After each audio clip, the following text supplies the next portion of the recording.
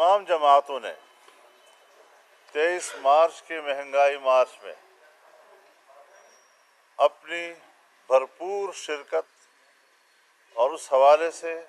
अपने आज़म, अपने इरादे और अपने जज्बे का इजहार किया है कि हम पूरी क़वत के साथ उसमें शरीक होंगे और एक बार फिर यहाँ से पूरी कौम को आवाज़ दी जा रही है कि नाजायज़ हकूमत और फिर नाअहल हकूमत, जिसने मुल्क की इकतसाद और मुल्क की मीशत को तबाह बर्बाद कर दिया है, और आम आदमी इस वक्त महँगाई के पहाड़ तले कराह रहा है, ज़िंदगी अजीरन हो गई है, गरीब आदमी आज भी वाक़ हुआ है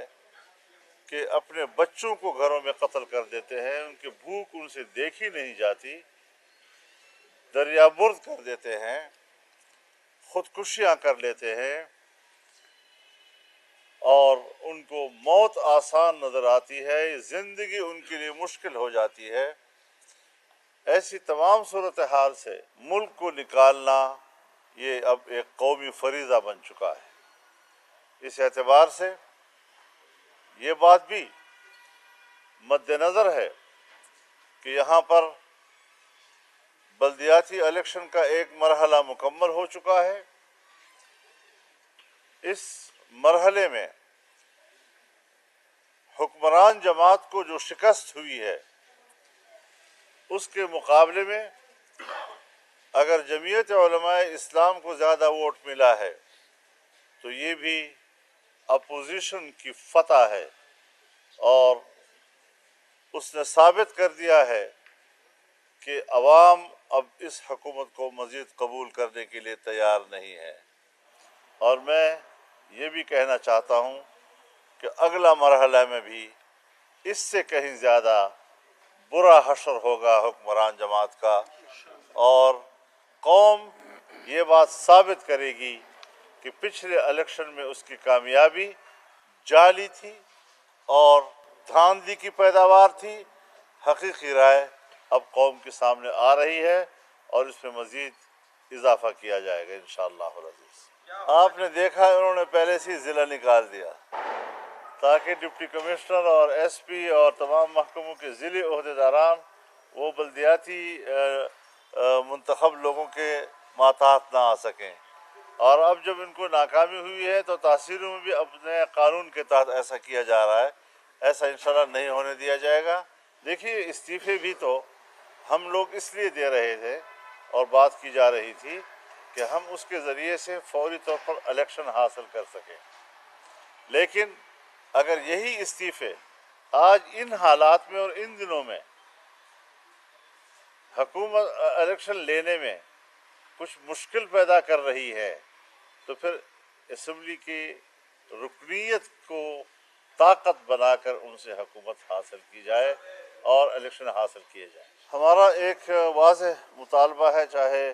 मुजाकरात में ये बात आई हो या ना आई हो, लेकिन हर वक्त हम इस्तकामत के साथ इस एक मुतालबे पर डटे रहे हैं कि 2018 में जो मुदाखरत इंतबी अमल में की गई और हम जिस दांदी की जिम्मेदार उनको ठहरा रहे थे, आज के इस बल्दियाती इलेक्शन में हमें वो न्यूट्रल नज़र आए हैं और उनकी न्यूट्रलिटी उसको हमने अप्रिशिएट भी किया है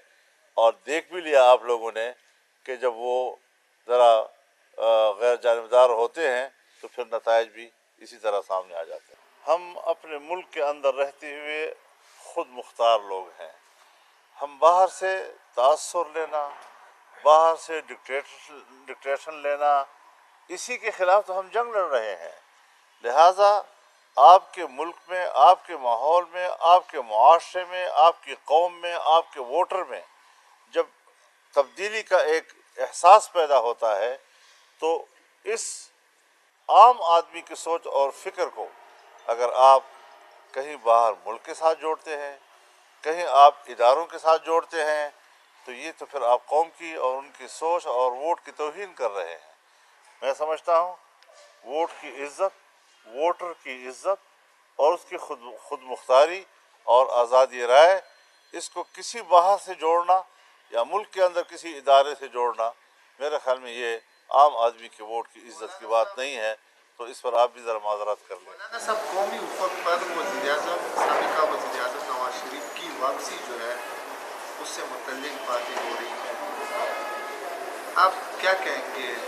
हर दम आए, अपना वतन है, हम पूरी तरह चशम बरा हैं। अल्लाह ताला पूरे जोश खरोश के साथ उनको अपने वतन की सरजमीन पर कदम रंजा फरमा, होने की तोफ़ी अता फरमा। कोई जज्बात में आकर नई मुश्किल अपने लिए पैदा न करे।